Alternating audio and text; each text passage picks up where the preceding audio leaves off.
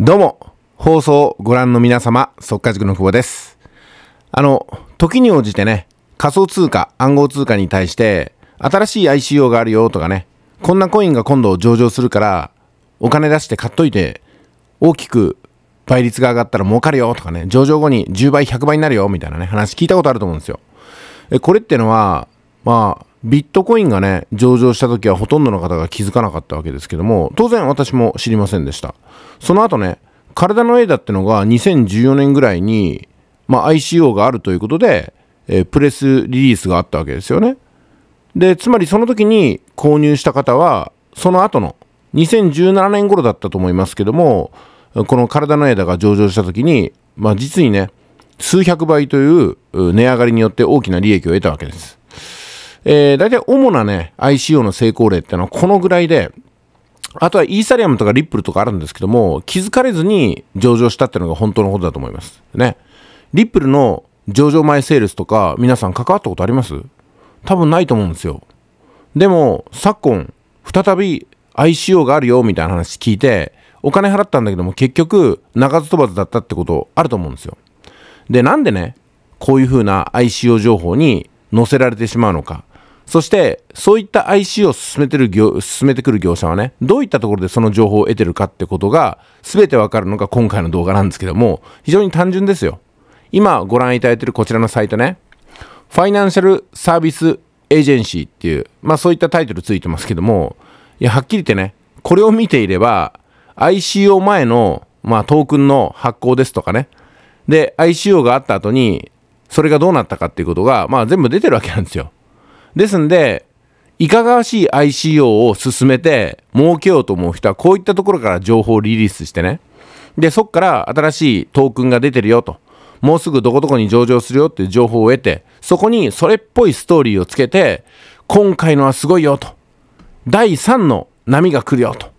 ビットコインの再来、体のエーダの再来、今度はすごいよっていう感じでもったいつけて、その仮想通貨に対してお金を集め出すんですよね。でも何のことはない。ここに書いてあるわけですよ。で、私の動画をご覧の皆様ならお分かりいただけると思いますけども、毎日2つとか3つの新しい暗号通貨は ICO されてるんです。で、多い時には5つとか、等10個ぐらいね、1日のうちに ICO が成功してるんですよ。でもそういった情報なんて全く知らずにね、まあ、久しぶりに出てきた YouTube で見た ICO の情報は信じちゃうわけでしょいや、そんなのね、別にそういうところから情報をわざわざ取らなくても、ここに書いてるんですよってことですよ。ちょっとざーっと見てみますよ。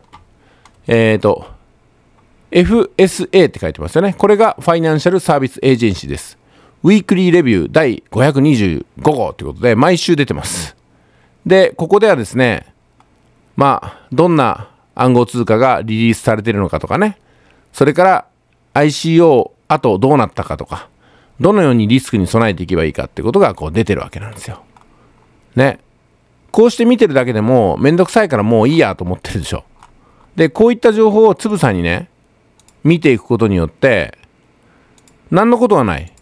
もったいつけた ICO の情報のその裏舞台がわかるわけですよ。だからよくね、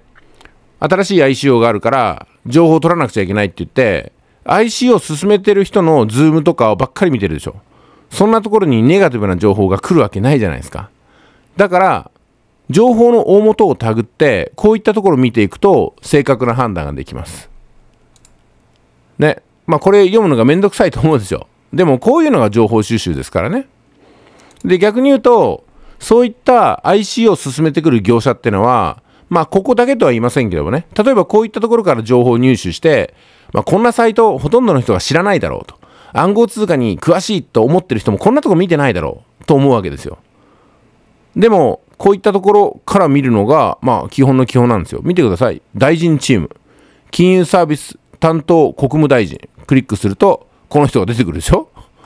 うん、だからね、大抵のね、日本国内で行われている ICO ってのは、こういったところが見て、あ、今度こんな ICO があるんだねと、まあ、あの民間でセールする分には構わないよって感じで 出してるわけですよ。こういった方がね。まあでも、個別の ICO がどんなものかこの人たちは知りません。ここに名前出してるだけですから。実際は、官僚とかね、で秘書官がやりますからね。それから、その下の民間企業とかがね。まあ、ここだけじゃないですよ。他にも情報取らないといけないところがあると思いますけども、今日はその一例ですね。こういったところ、見てますかってことです。で、新しい IC を仕掛けてくる人はこういうところ見てます。インターナショナルファイナンシャルセンターってなるでしょ？こういったところもクリックして、ちゃんと見るんですよ。そうすると、ICO でね、狙うんだったら日本だよみたいなことが出てるわけですよ。日本人は YouTuber の言うことは信じるけども、自分で情報を取りに行かないっていう風が、うん、見抜かれてるんでしょうね。はい。まあ今日はそんなとこで、またこれ詳しくやりますんで。あの、私だってだからこういうところから情報を取ったら、ICO で1億とかね、10億とか集めること多分できるんですよ。うん。まあでも、そんなんね、心が痛むじゃないですか、そんなの。だから、冷ややかに ICO に乗っかってる方のことをね、ここから見てるってことなんですけどね。まあ、このぐらいの情報は取らないとダメですよ、やっぱり。はい、じゃあ以上です。